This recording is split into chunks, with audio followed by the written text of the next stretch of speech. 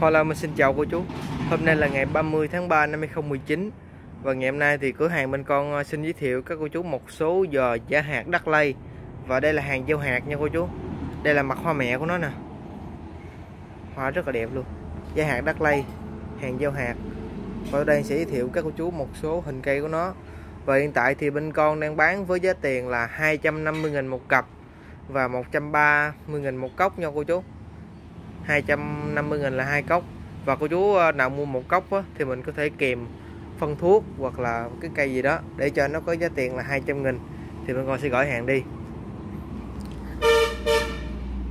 Và đây là giấy hàng đắt lay hàng giao hạt nha cô chú. Giá tiền của nó là 130 nghìn một cốc. Và cô chú mua hai cốc á, thì sẽ có giá tiền là 250 nghìn. Và cái hàng giá hạt này á, thì cái thân nhỏ dưới đây đó chú nó mỏng te à nhỏ xíu à còn mấy cái chầm thì thân sẽ to. Ở gần gốc á, thì nó hơi uh, mỏng tí.